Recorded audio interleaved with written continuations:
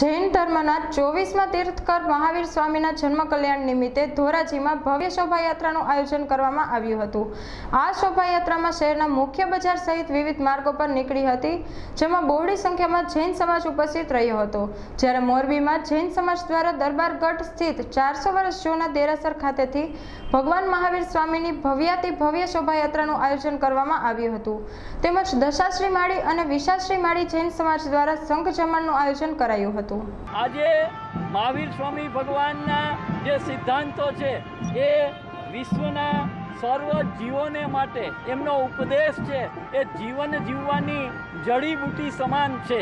એમના ત્રણ મુખ્ય સિદ્ધાંતો, અહિંસા પરમો ધર્મ જીવો અને જીવવાદીઓ, જીવ માત્રને જીવવાનો અધિકાર છે.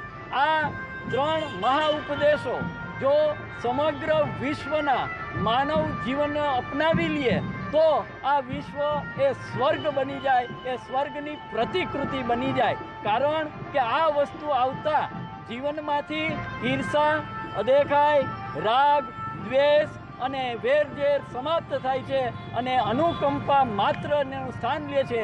ચારસો વર્ષ જૂનું મૂરનાયક ધર્મનાથ દાદા અને ત્યાંથી દરેક સંઘના ભાઈ બહેનોએ શોભાયાત્રાની શરૂઆત કરી. મોરબીના મુખ્ય મુખ્ય માર્ગો ઉપર ફરીને બોયઝ સ્કૂલમાં અહીંયા પૂર્ણ કરી.